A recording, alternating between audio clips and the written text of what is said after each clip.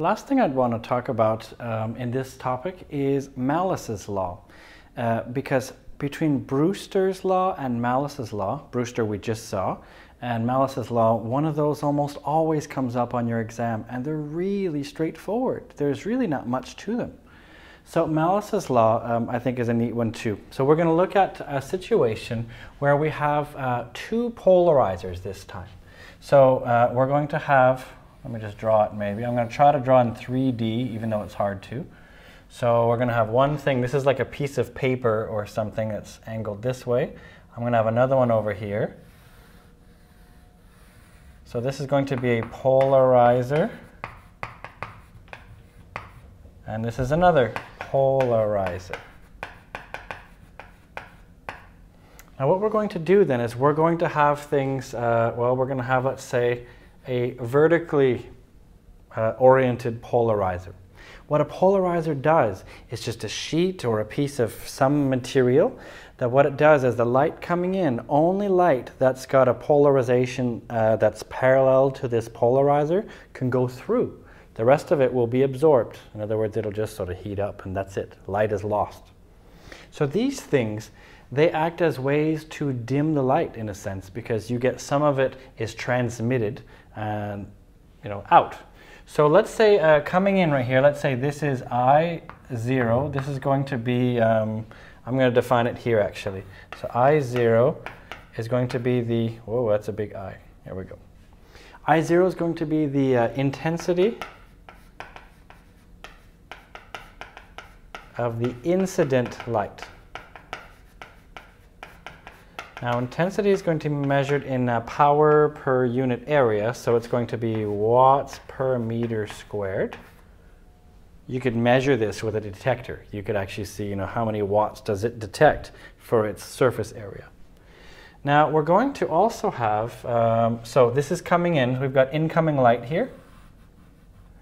Uh, but the light is going to be unpolarized. So maybe the angle of polarization is like this, maybe another one's like this. I'm going to say unpolarized.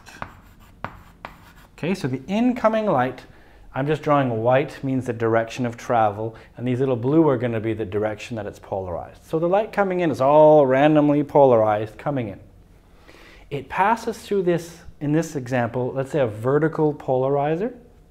In other words, only light with a polarization that's exactly vertical can get through.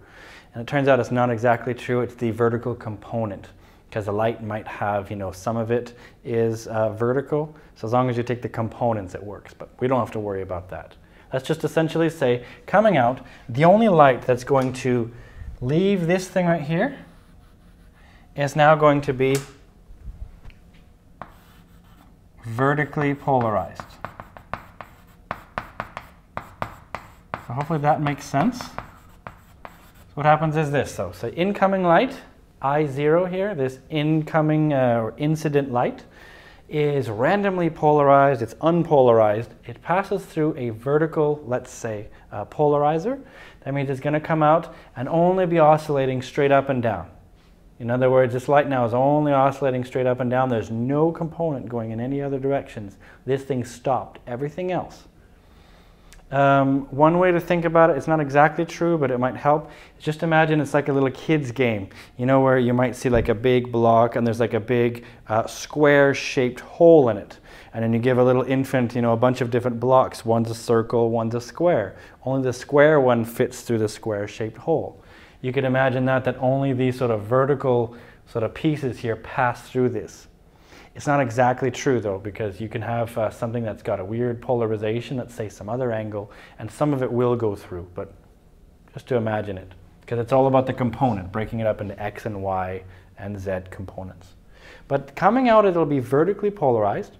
And then you have another polarizer, and this one, maybe the, uh, maybe the angle of how it's polarized is different. So maybe I'll draw it like, I don't know, something like this.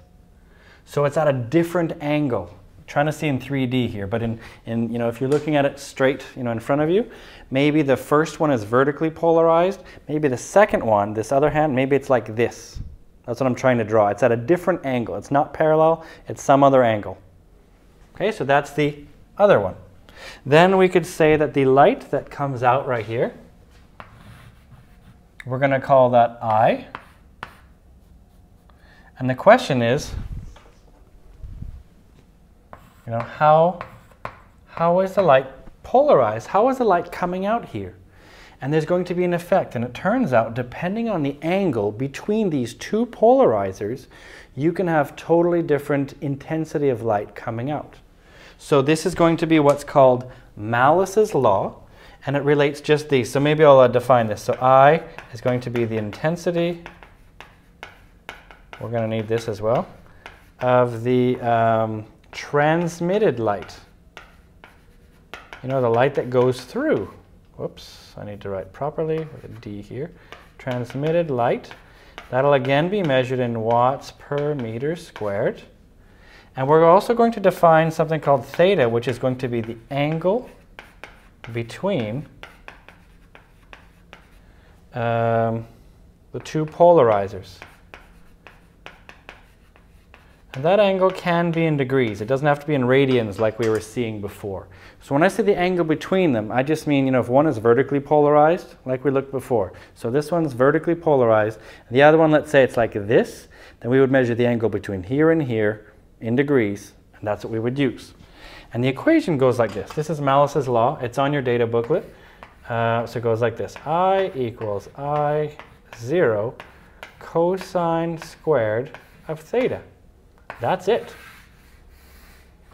So what it tells you then is that the intensity of light that's transmitted is related to the incoming light, right, the incident light, but it depends on the square of the cosine of the angle. So you take the cosine of the angle and you square that answer. Uh, but the notation is normally to write cos squared, but it's really cosine theta, all that in parentheses squared. But in math, the notation we use is cos squared theta.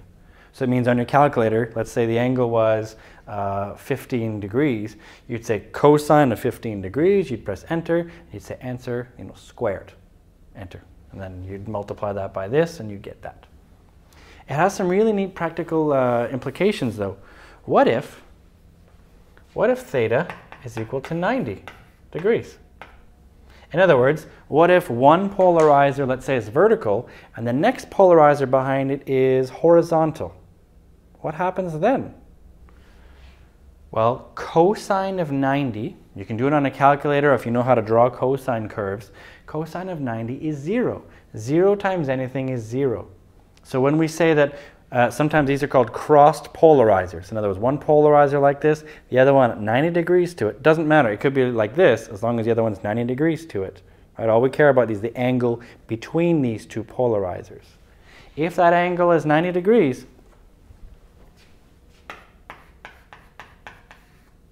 then the intensity of a light that's transmitted is zero. This has a really cool practical implication.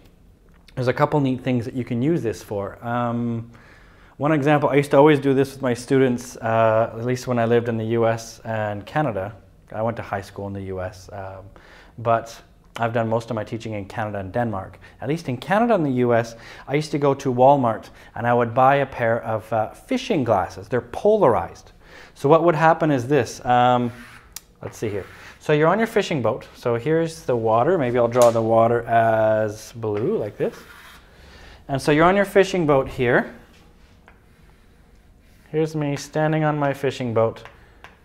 And I would like to see some little fish here. So maybe I have, uh, let's see, a fish. I'm really bad at drawing animals. You'll see that in a second. But I have my little fish here that I want to see. Looks more like a shark, or I don't know, but I want to see this fish. But the problem is there's sunlight.